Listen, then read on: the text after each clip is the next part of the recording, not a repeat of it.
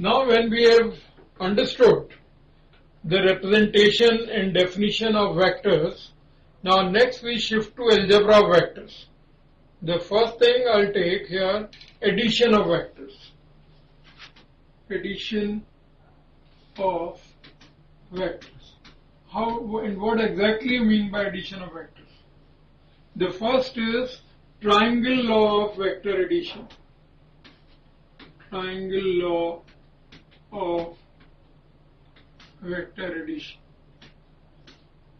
What is very special about vector addition, before I state you should know, like in ordinary algebra, in ordinary say arithmetic, 2 plus 3 is 5.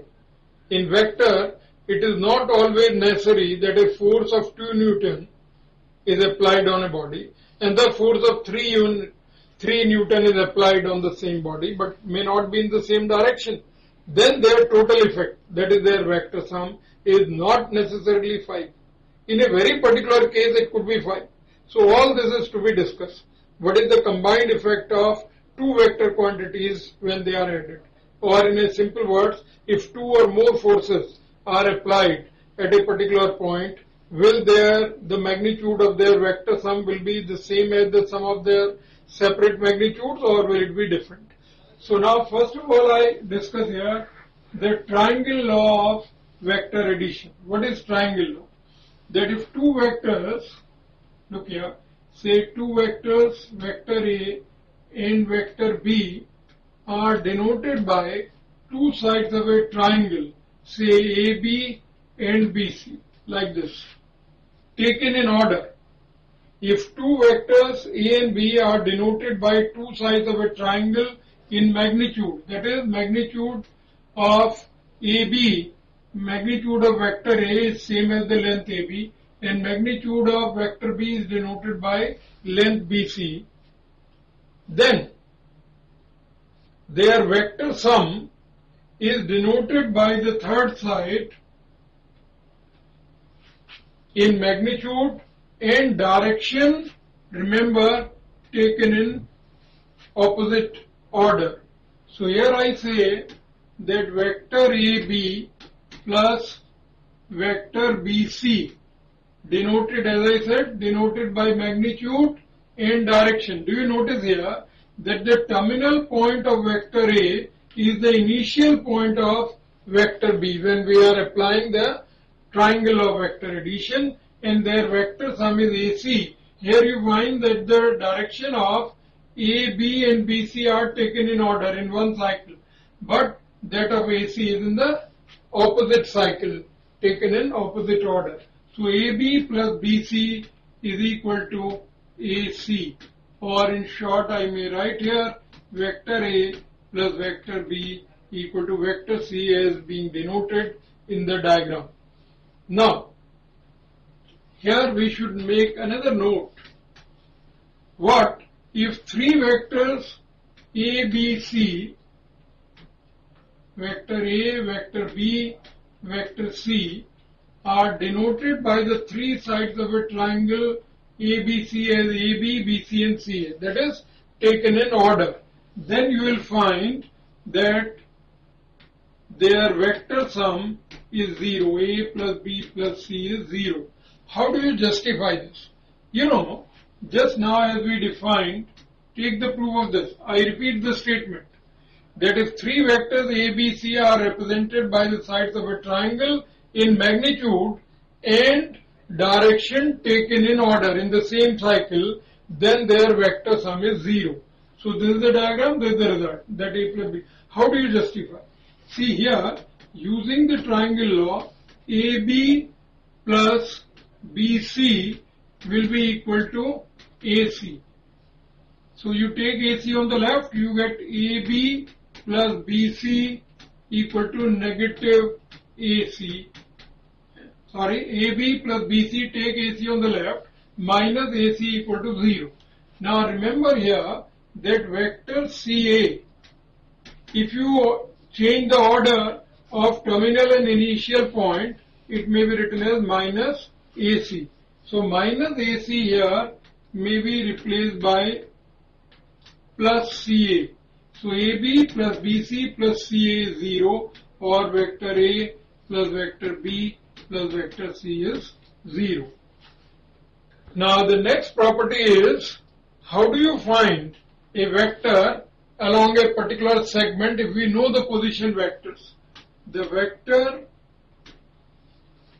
AB, what is vector AB?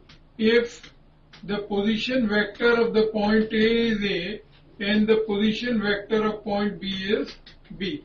See here. Let A and B are two points whose position vectors are A and B of course have to be with reference to some point O. If the position vector of a point A is A that means vector OA vector OA is A and if the position vector point B is B that means vector OB is vector B. And now, what will be vector AB in terms of small a and b vector? That's what we are wondering. How much will be vector AB? So look at it using the triangle of vector A, okay, OA plus AB. Along we are discussing in triangle OAB. OA plus AB will be equal to OB. That is, if I write in short, vector A plus vector AB equal to vector B or vector AB equal to vector B minus A. How do you take it? That if, I repeat, that if AB is a segment like this and the term, its points A and B, the position vectors of the point A and B are vector A and vector B, then vector AB is B minus A, that is, it is always terminal minus initial. Look at it from here. If you want to find out vector AB, you know the position vector point A and B, then how much will be AB? AB, what is the terminal point B? What is the initial point A? So it is in the opposite order, that is B minus A. Let me take more examples. Suppose you have few points A, B, C, D and their position vectors are respectively denoted by A, B, C, D, small symbols, A, B, C, D.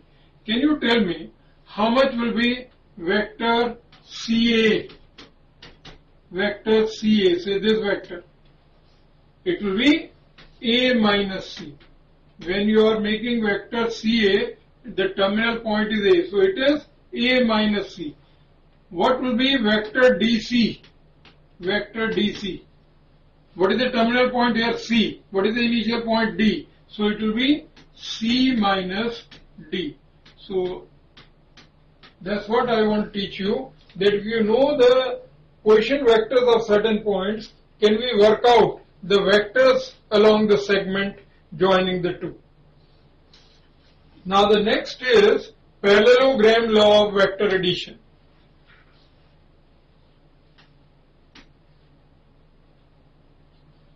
Parallelogram law of vector addition.